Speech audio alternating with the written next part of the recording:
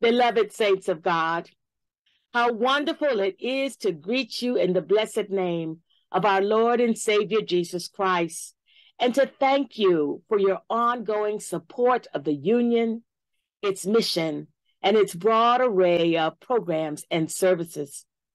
Since we met for a 54th annual business meeting and conference in Baltimore at the beginning of July 2022, much has transpired with the union.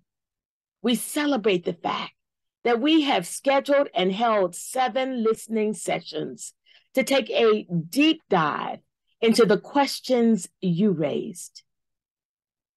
The questions that you raised about the proposed revisions to the UBE bylaws.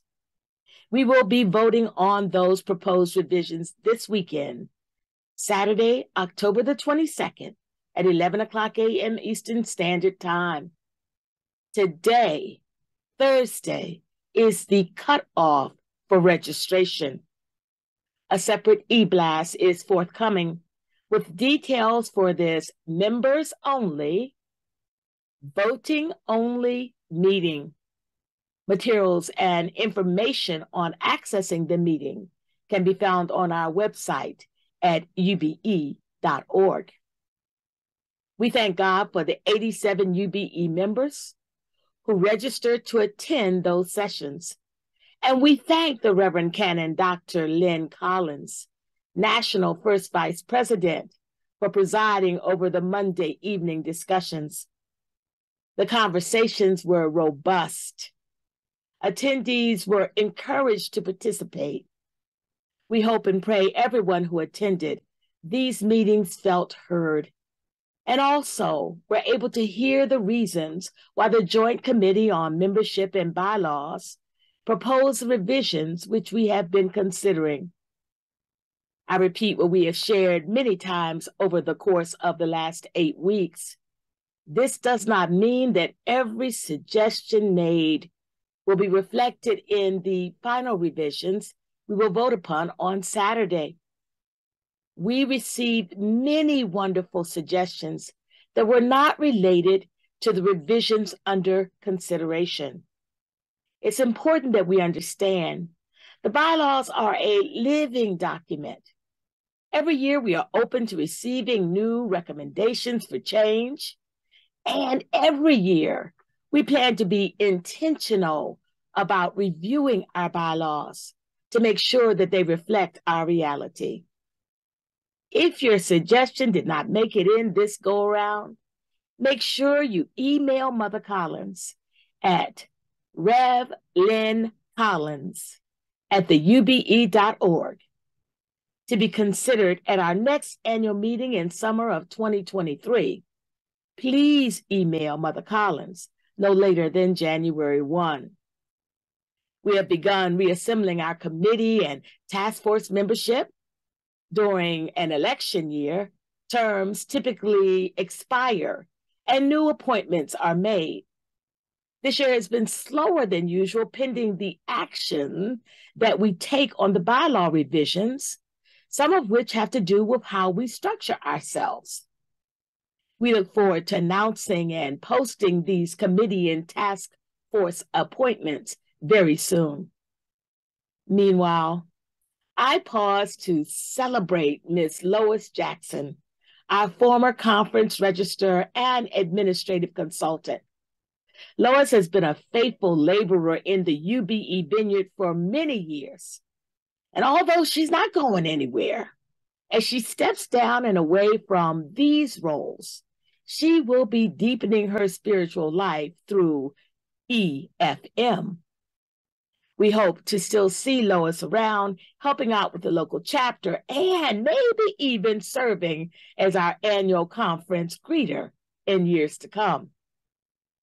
We do ask that all chapters please continue sending your membership records and payments to the national headquarters at 3737 Seminary Road, PMB number 121 in Alexandria, Virginia 22304 or electronically to our National Secretary, Linda Tardy Wilson.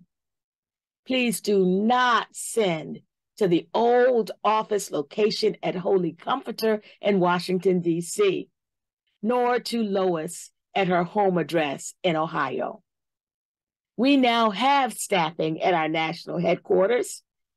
Mrs. Joy Warburton is UBE's part time administrator, and two VTS seminarians serve as interns. Mr. Addison McMillan and Miss Ya Addison. You got to meet them all at the conference in Baltimore if you were able to attend. All three are wonderful seminarians dedicated to UBE and to serving each one of you. Don't hesitate to call the office and leave a message if necessary. Joy, Addison, and Ya are ready to assist you. We are very excited about the progress we have made towards launching our new membership database software, a project we could not have successfully undertaken without the assistance of Midwest Region Director Wendy Wilson Walker. Our aim is to have that membership database software up and running before the end of the year. That will mean accurate records, abilities to send out invoices, ability to remind you when your next lifetime member payment is due, and other things, communications that have not been as automated as we would have liked them to be in years past. Other committee appointments include the Reverend Deacon Jamasetta Glosson as our new coordinator for the Tuesday night Bible study and Gabrielle Atkinson as our new scheduler for Talk to Talk, and we're talking now. We are excited by the interest they both have shown in supporting the union on a national level with their time and with their talent. Perhaps the most exciting and long awaited undertaking that we have been able to participate in was to watch a dream deferred for two years come to fruition. We partnered with our local chapter in the Diocese of Chicago, the Bishop Quentin E. Primo Jr. chapter, to host a reception for then Bishop elect Paula Clark. The next day, we were present in force to bear witness to her ordination and consecration as the 13th bishop of the Diocese of Chicago. What a magnificent time we had.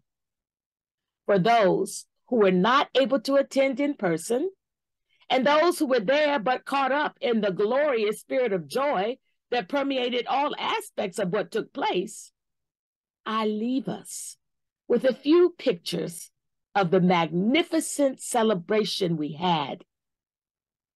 Be blessed. And see you on Saturday, October the 22nd at 11 o'clock a.m. Eastern Standard Time Viezão